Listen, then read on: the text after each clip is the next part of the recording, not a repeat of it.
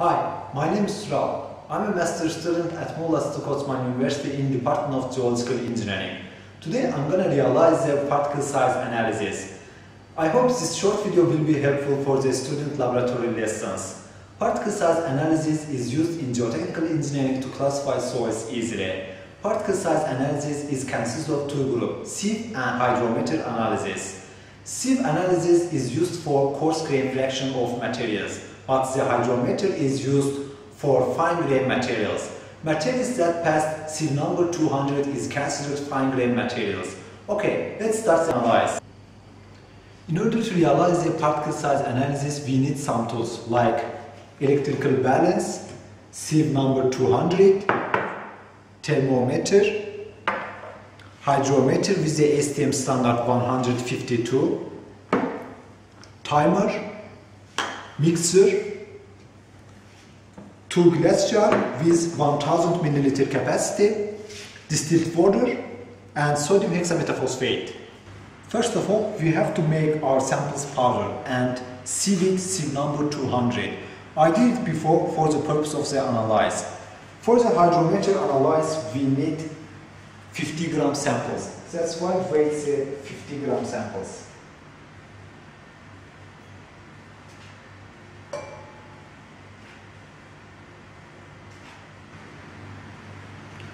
After weight 50 gram samples, add the 125 milliliter sodium hexametaphosphate solution to the samples. In order to make 125 milliliter sodium hexametaphosphate solution, 5 gram sodium hexametaphosphate mixed with the distilled water. Unfortunately, we don't have any glass jar with capacity 125 milliliters. That's why I'm, I'm going to use uh, 250 milliliter jar and after that cover the solution with the wet towel and leave it one hour. Sodium hexametaphosphate don't let the particles stick together. During that time we can uh, prepare our control jar. In order to make the control jar again we need 5 gram sodium hexametaphosphate and mix with a 125 milliliter distilled water.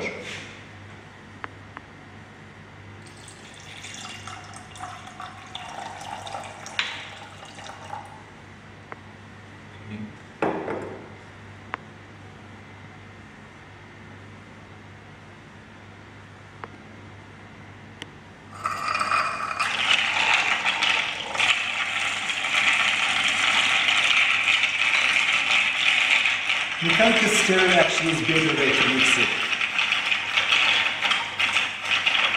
Okay. It's going to mix.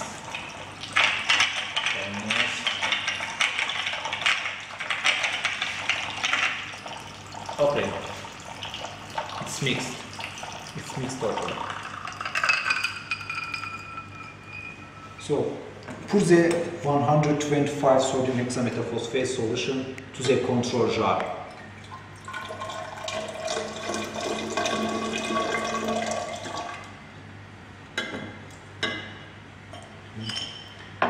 And fill the control jar with the distilled water until the water level 1000 milliliter.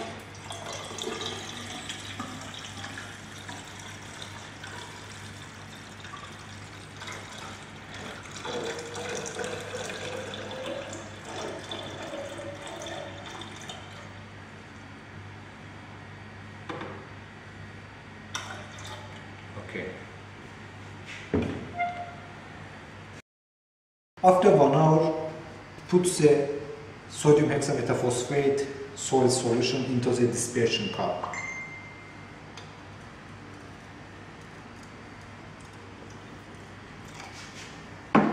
Make sure that you don't have any loose materials in the glass. All the materials transfer from the glass to the dispersion cup. Okay.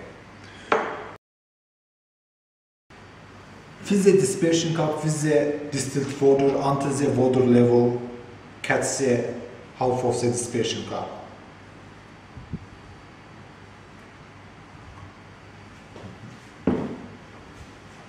Mix the solution 2 minutes by the shake mixture.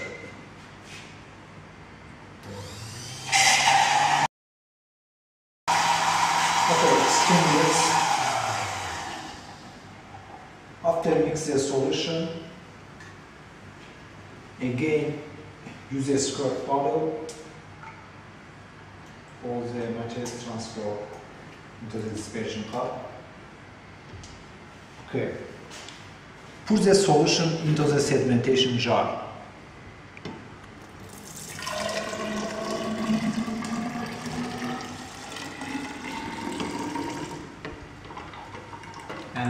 Again, again use a squirt bottle, transfer all the material from the dispersion cup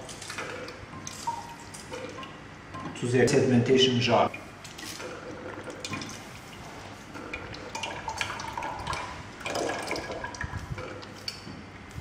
Okay.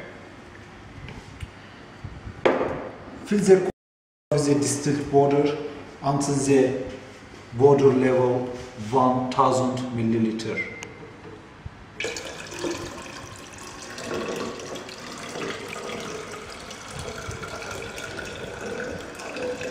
So I'm going to use squirt bottle to transfer all the materials into the sedimentation jar and also manage the level carefully.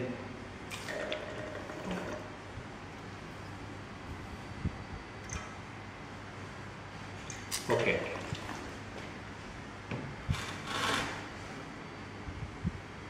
After that, the sedimentation jar by the rubber stopper to aggregate. Unfortunately, we don't have eh, a rubber stopper, that's why I'm going to use to that glass. But of course, it's better to use the rubber stopper.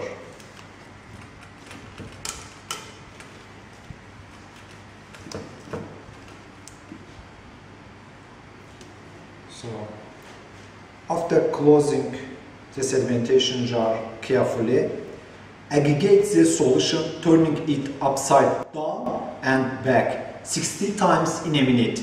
I mean that 1, 2, 3, 4, 60. And that's because I didn't use the rubber stopper. That's why I have some loose materials. So let's it a little bit. Okay. So start the time. At the two minutes of the time, we will take the first reading of hydrometer and temperature. But before that, we have to take the control jar reading. It is 6. Note it somewhere.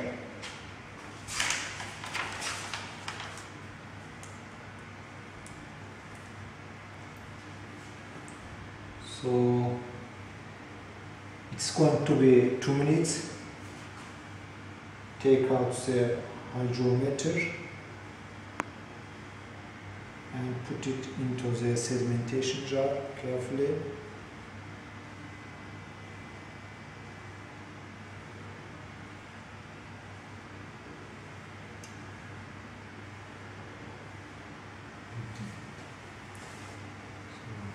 It's going to be two minutes.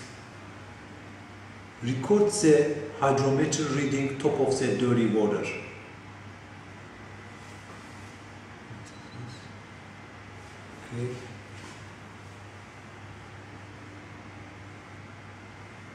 Now, it is 36.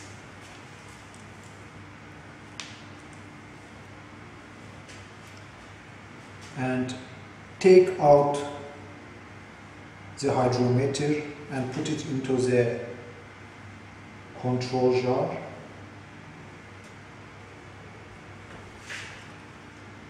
and insert the thermometer into the sedimentation jar and take the temperature reading.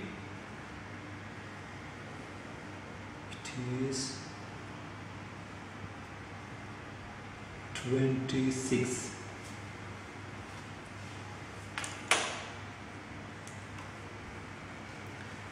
Continue to take the hydrometer and temperature reading at the approximate elapsed time of 4, 8, 16, 30, 60 minutes and 2, 4, 8, 16, 32, uh, 64 and 86 hours.